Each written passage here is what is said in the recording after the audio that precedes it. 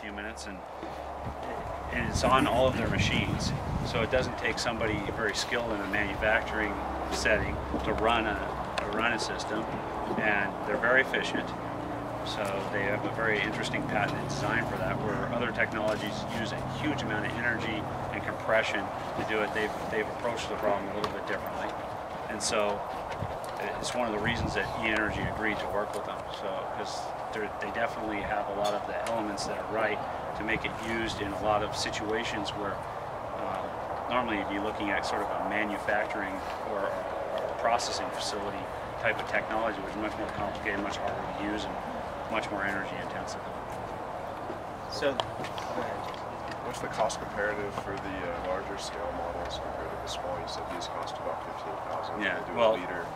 They, they run from about 150,000 on up to about 800,000, and that's one of the reasons we're going to start bringing manufacturing into the U.S. and North America, because it's quite expensive to be shipping metal across the ocean, particularly from probably one of the most expensive uh, countries in the world to manufacture things in. And uh, so that's the range. How about the emissions characteristics of the fuel and have you tested for ASTM conformance to gasoline? Yeah, well, well, I don't have the ASTM data, but we can certainly share with you. Uh, there's a major Japanese lab in Japan that tests most of the hydrocarbon type of fuels, and we have the data there. And if you know, you can reference that to ASTM, but we have all of that.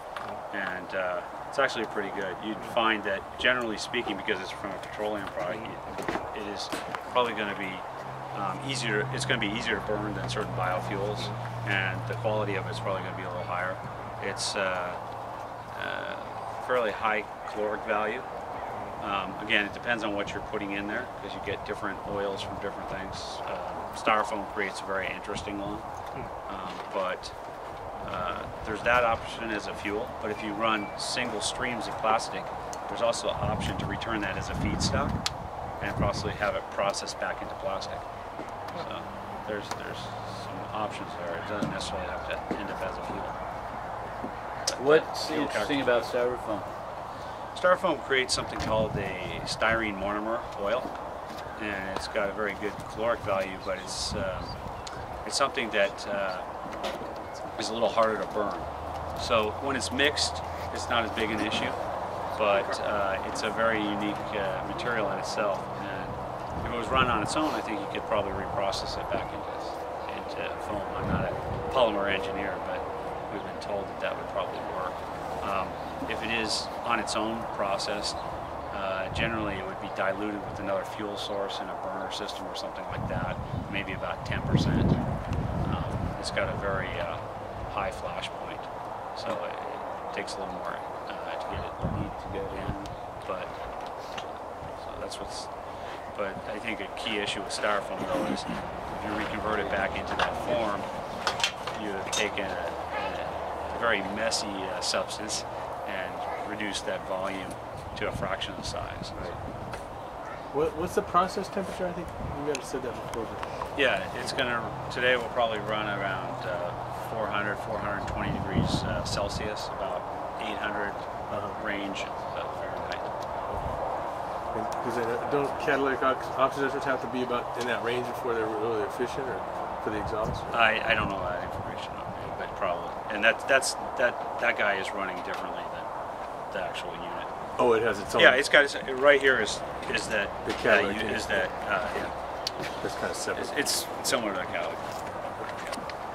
And is it, it really just, it just heats it and separates out the oil? You're not adding anything? What's happening? No, there's no enzymes in this process or any anything being added. And you can see that. You'll see it here. But um, basically, it's heating it, it's liquefying it, it's gasifying it, and then it's recondensed or cracked into petroleum. So it's our little time machine, right? Returning the plastic back to its original form. So And then what happens with, if you throw a plastic in there that's got labels and stuff, that, it's going to become carbon. It's going to become ash because the temperature is high enough that those things are going to become ash. We have some uh, discussions going on right now with paper recyclers, brown paper recyclers. Often people throw bottles and garbage in with the paper, it gets shredded. That ends up having to go to the dump because it can't be recycled as part of the cardboard boxes that are being turned back into recycled brown paper materials. So they said, can you run this? And the answer is yes, but we're going to have more ash come out of the machine. But we effectively can solve their issue of dumping it. Because you can pretty much gasify anything, right? But it's just like you said, it's a different Yeah. levels of ash are left over at the end. Yeah, Is that right? Correct. Okay. And this creates less because it's more is converted into Yeah. liquid fuel. Is that right? Correct. Throughout this, obviously, efficiency is is prime concern. You've spoken to the uh, electrical efficiency.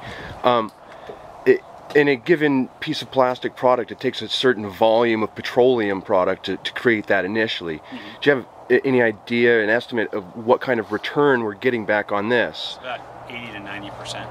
For I the mean- actual product or, or the entire manufacturing process that we did in the? Repeat that question for me. Just the product- Eighty percent of, of the material that was, Yeah. you know, the oil that was, that yeah. It should be eighty to ninety percent. Generally, sometimes it's higher. I mean, uh, yeah, there's, but if you consider the stuff going into the dump or going someplace else, off, shipped off to China to be burned in an open kind of uh, power generation system, uh, if you return it back to an oil, uh, uh, a fuel source or you, uh, you turn it to a feedstock, there's actually amazing uh, carbon savings in there. So I would say that there's there's a lot of models that will probably be working out in the future. But right now, if you ask me that question, it's about 80 90% of the original oil petroleum material.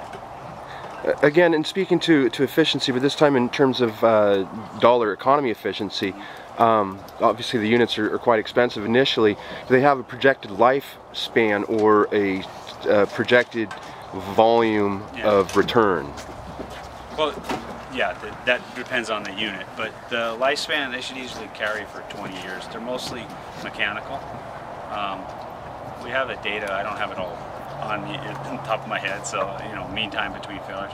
Most of the equipment is uh, it's fairly low maintenance. It's uh, not a lot of moving parts to it.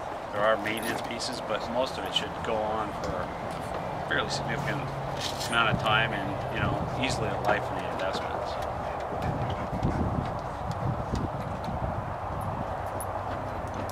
Let's fire it up. Okay, well, who else wants to show some?